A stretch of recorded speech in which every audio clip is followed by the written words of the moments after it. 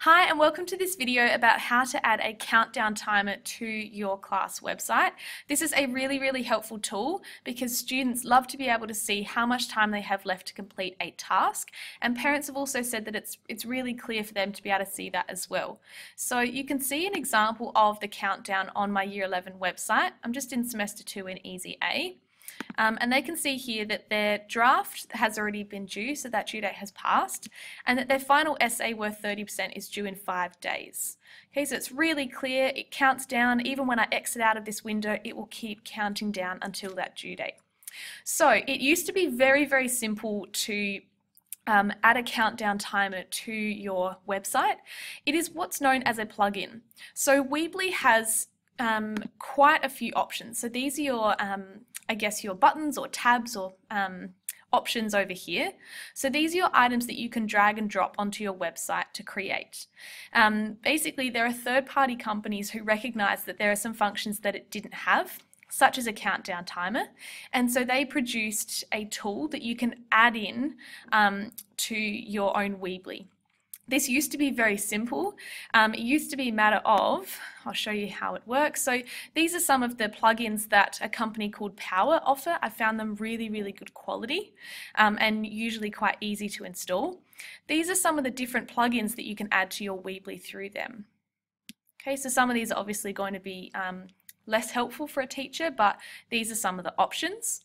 And it used to be a simple matter of um, going to the the um, plugin that you want. You used to be able to click add and it would come up with all of your different websites. It would actually recognize that you are already logged into Weebly in another tab and you could then add it to your website so that when you open that website, so this is my um, English website, I'm into the editing mode, you can see that down the bottom I have a POWr Countdown third-party plugin here. And all I would have to do is pick that plugin up and drop it straight in. Okay, it was quite simple. Um, the past few months of 2016 though, Weebly has um, disabled that function for Educators Weebly. I'm not too sure why, I'm hoping they will change it back, but I have found a way that you can still add it onto your page. It just requires a few more steps. So what you'll need to do to start with is just um, go to the POWr website, so I think I've got it here. So all it is is um, powr.io. You can also Google POWr, P-O-W-R, and it should be the first thing that comes up. And I'll be sure to put a link on the website as well. Um, and you want to click this uh, try it now for free button. So I've obviously already got an account, so I'm going to click the sign in. Um, but yours looks very similar. All you need is an email and you create your own password. Sign up, it'll probably send you an email asking you to confirm that email as well. Um, and then you'll need to log in with those details. Okay, so a few steps in there. Wait for this to load. I found that it went to this page with me as well. All I did was refresh that page um, and I think I went back as well and it then let me log in. I don't know why that step is there. there. There's obviously a few issues with the plugins at the moment, but it's still working, which is good. Now what you'll see here is a very, very messy plugin homepage. This is because I've never had to use this method before, and obviously you can see that I'm just creating one by one individual countdowns from my Weebly, dragging in, I'm not naming it, um, and so obviously I'm not reusing it, which is why mine looks like this. Yours should be blank at this stage, right? So don't worry too much about that. For a countdown timer, what you want to do here is select Create New Plugin. And again, it gives you all the different options of what you can create. And we want to go to Popular and select the countdown timer. So select this one here and it will open a new page for you. And then when it loads, it basically asks you if you want to start a countdown timer from scratch or an import, important existing one. So I suppose once you have produced a few of these, you might like to import an existing one, but let's do the start from scratch today. This is the section that you'll customize. So things like counting is basically what it's going to count down to. So if you click that little arrow, it'll bring up your options. Um, I always count to a date because I want the due date to be the countdown, I guess. Um, you can change the date through here, so flick through the months if you like, and then select a date and click done.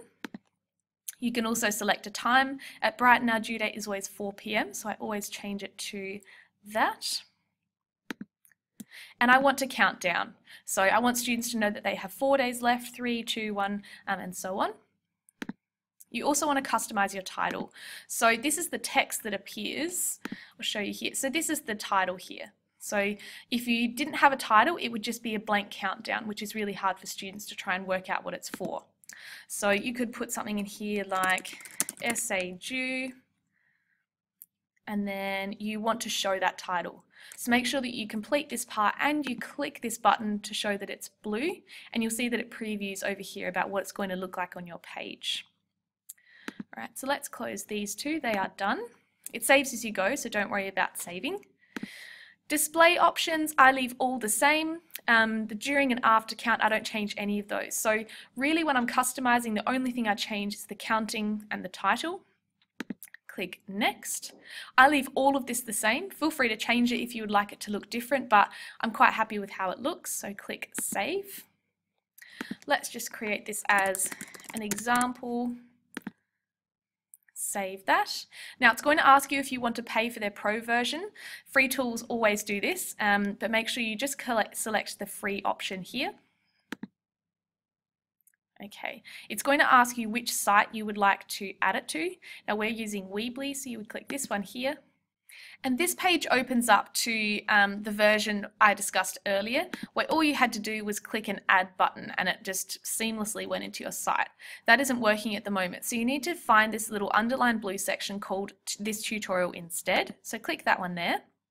And what this does is gives you a code. So don't panic, this still isn't coding, it's just a copy and paste job. Like I said, it's just a few more extra steps, it takes a little bit longer.